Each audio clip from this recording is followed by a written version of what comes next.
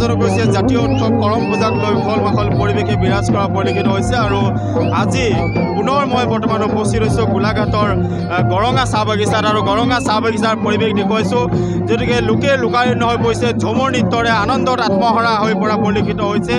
আৰু এনেদৰে দেখা যায় যে চাহ জনগোষ্ঠীৰ লোকসকলে যিহেতুকে তেওঁলোকৰ যি জাতীয় উৎসৱ কৰম পূজা এই কৰম পূজাক লৈ উখল মাখল পৰিৱেশে বিৰাজ কৰা পৰিলক্ষিত হৈছে আৰু গৰঙা যি চাহ বাগিচা এই গৰঙা চাহ বাগিচাৰ আঞ্চলিক গোটৰ সহযোগত অসম চাহ জনজাতি ছাত্ৰ সন্থাৰ আঞ্চলিক গোটৰ সহযোগত এই যি কৰম পূজা এই কৰম পূজা অনুষ্ঠিত কৰা হৈছে মই দেখুৱাইছোঁ সামগ্ৰিক পৰিৱেশ আৰু এনেদৰে দেখা যায় যে চাহ জনগোষ্ঠীৰ লোকসকলে ভাদ মাহটোৰ শুক্লা একাদশী তিথিৰ দিনটোৰ পৰা আৰম্ভ কৰি বিভিন্ন প্ৰান্তত কৰম পূজা অনুষ্ঠিত কৰি আহিছে আৰু আজি গৰঙা চাহ বাগিচাত আমন্ত্ৰিত শিল্পীৰ দ্বাৰা এই যি কৰম পূজা এই কৰম পূজা অনুষ্ঠিত কৰিছে। মই সামগ্ৰিক পৰিৱেশ দেখুৱাইছোঁ ঝুমুৰ নৃত্যৰ তালে তালে সকলোৱে আনন্দত আত্মহাৰা হৈ পৰা পৰিলক্ষিত হৈছে মই ঝুমুৰ নৃত্যৰ কিছু দৃশ্য দেখুৱাবলৈ অনুৰোধ কৰিছোঁ।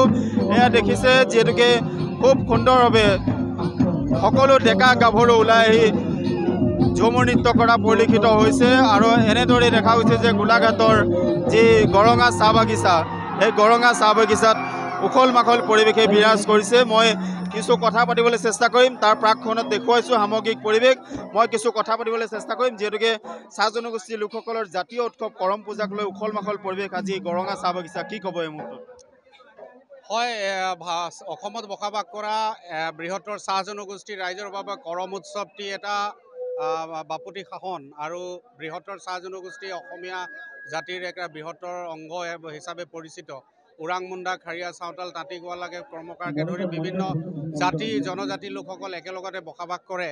আৰু বিশেষভাৱে ভাদ মাহৰ শুক্লা একাদশী সমগ্ৰ অসমৰ বিভিন্ন প্ৰান্তত কৰম উৎসৱক উদযাপন কৰে আৰু এই কৰমৰ উৎসৱৰ জৰিয়তে তেওঁলোকৰ নিজৰ পৰম্পৰা নিজৰ ৰীতি নীতি জৰিয়তে তেওঁলোকে এটা প্ৰকৃতি পূজক হিচাপে এই জনগোষ্ঠীটো পৰিচিত তাৰ এই এই উৎসৱটিৰ লগত তেওঁলোকৰ ধাৰ্মিক আৰু আধ্যাত্মিক বিষয়বস্তুবোৰ লুকা থাকি প্ৰতিফলিত হয়।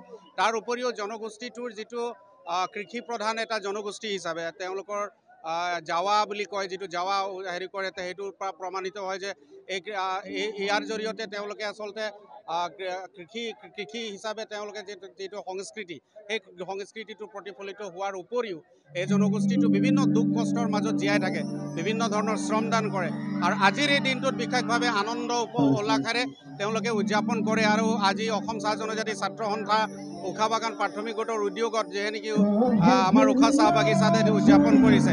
আমি সকলোৱে আৰু সমূহ ৰাইজে আজি সুন্দৰভাৱে উপভোগ কৰিছে আৰু অনাগত দিনৰ সময়ত গৰম দেৱতাই যাতে সকলো সুখ শান্তি আৰু সমুন্নতা সজাই আমাৰ মাজত বৰ্জিত থাকে সকলোৱে সুখ আহে তাৰে বাবে আমি চাহ জনজাতি ছাত্ৰ সন্থাই সমগ্ৰ অসমবাসী ৰাইজৰ কাৰণে আহ্বান জনাইছোঁ।